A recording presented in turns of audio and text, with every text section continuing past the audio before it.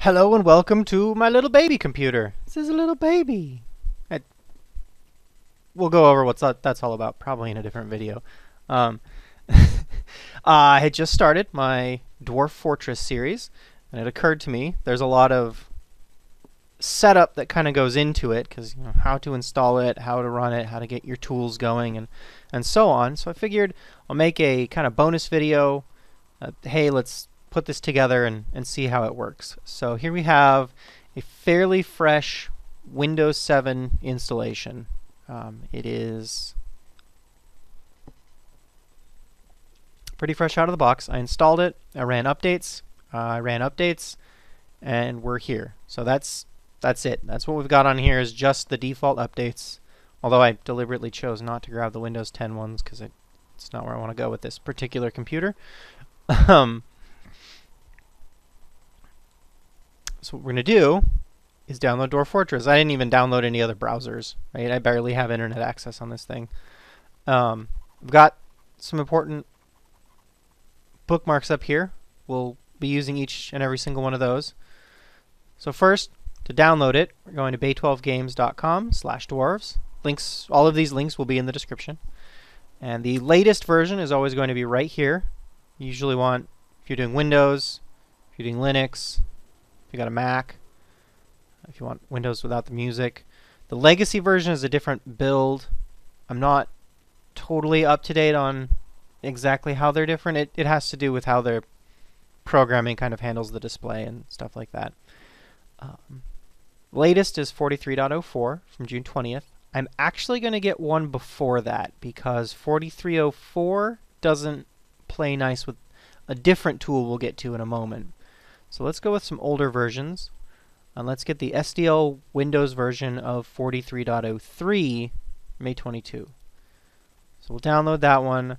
Let's just save it and let it go into our downloads folder. So the first part, how do we install and run Dwarf Fortress?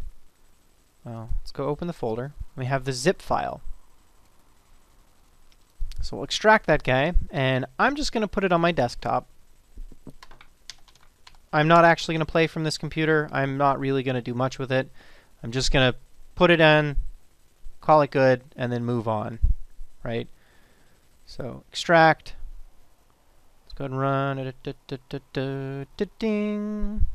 I said da ding. There we are. And it is extracted. So let's minimize this guy. Let's minimize that guy. Right there. Dwarf Fortress. So there's the executable. Uh, I was thinking about doing a shortcut. It's really not that critical. Here's a useful tip for those of you who are using Windows, at least 7 and later, possibly earlier versions as well. I'm going to right click and drag, and I can create a shortcut.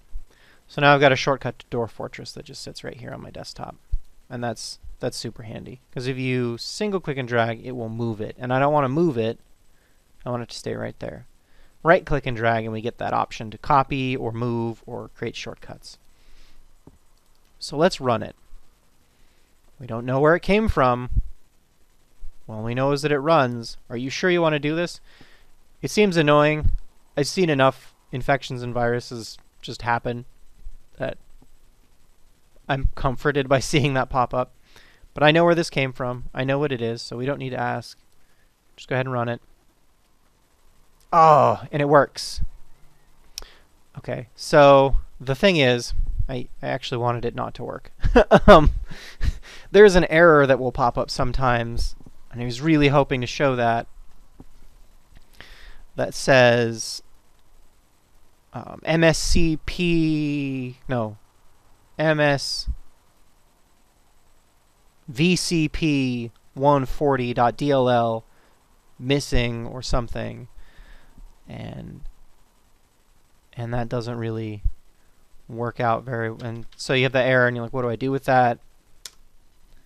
The thing I show, wanted to show there is that if that does happen if you do get that MS VCP 140.dll error it means you need to install Visual C++ and so I'll be putting a link to this as well. Right well once it opens if it opens. Couldn't open. There we go. Come on. Yeah. Yeah. We're putting a link to this as well. You want to download. Um, you actually want, from what I've seen testing this, the version that corresponds to the Dwarf Fortress that you're running. In this case, we're running 32-bit Dwarf Fortress, so we need Redist x86. I you know what I bet it is? I bet 4303 didn't need this, and 4304 does. I bet that's what it is. At any rate, you want the, the bit depth for the one that you're running, not for your Windows. Probably won't hurt to have both. Hi, cat. Got a different cat. She's saying things. So if you do need that, then you download this and run it. It's from Microsoft proper. We'll you'll have the link. You've got the secure link so you know that this is from actual Microsoft, assuming they didn't squelch on their SSL cert renewal and somebody swept it up in the meantime or something. That's that didn't happen. That doesn't happen. Not to really big companies. I mean, I'm sure it does.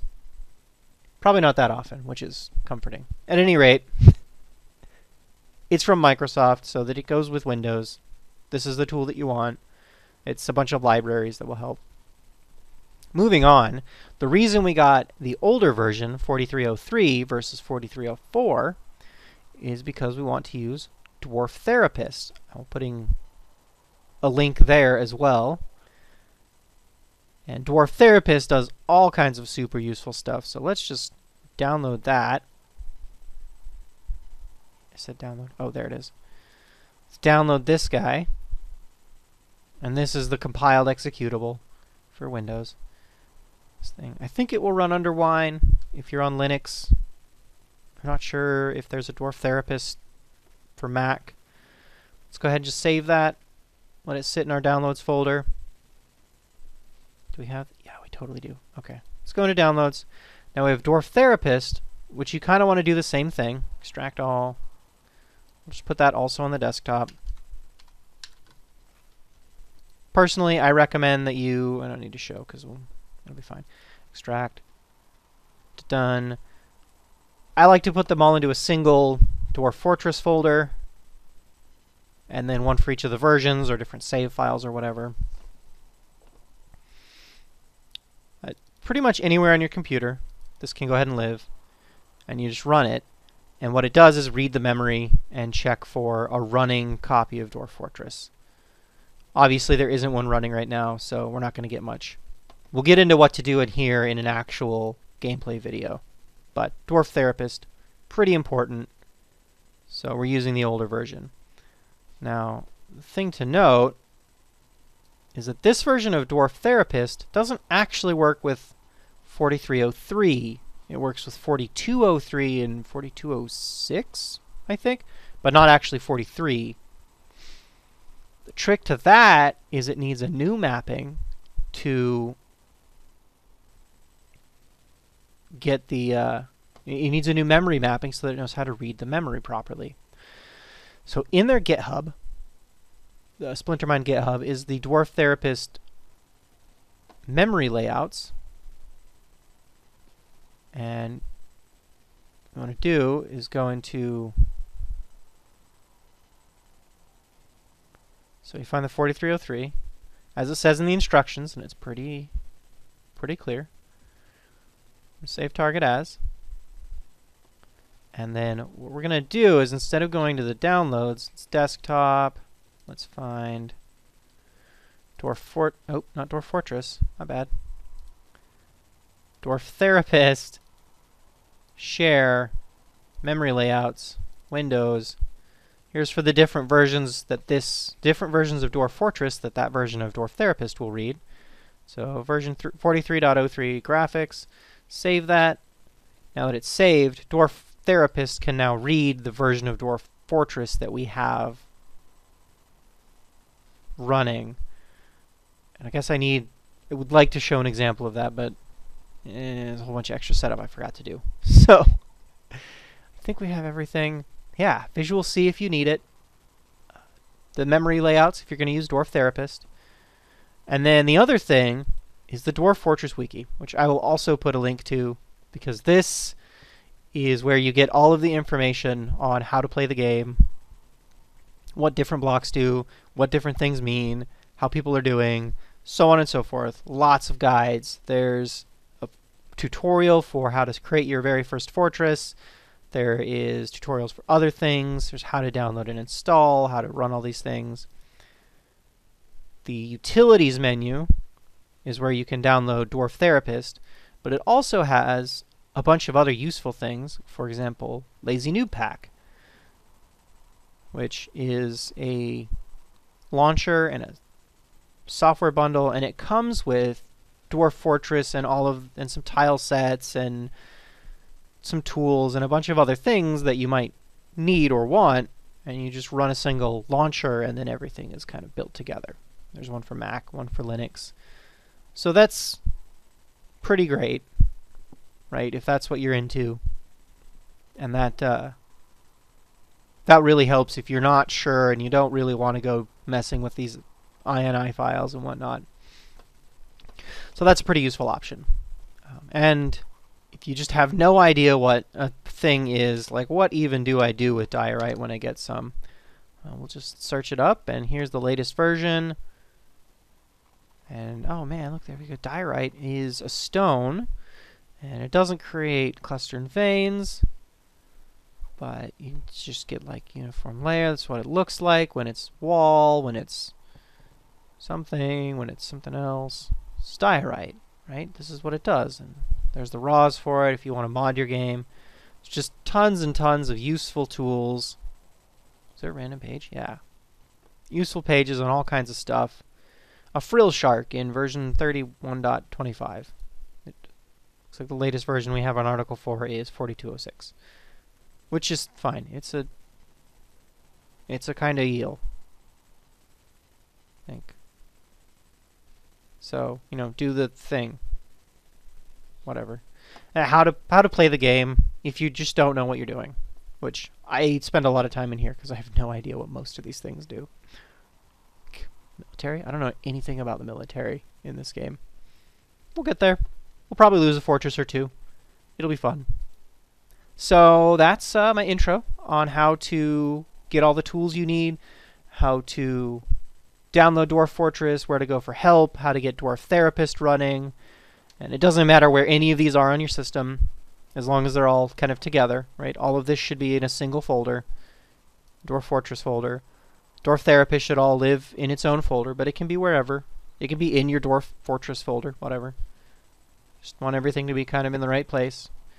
And uh, then you run it, and, you know, beyond quality. So there we are. Dwarf Fortress, and it runs and it plays. There's going to be no saves in here, so I'm not going to bother with like creating any any worlds or anything because as we know that takes like half an hour 40 minutes no thanks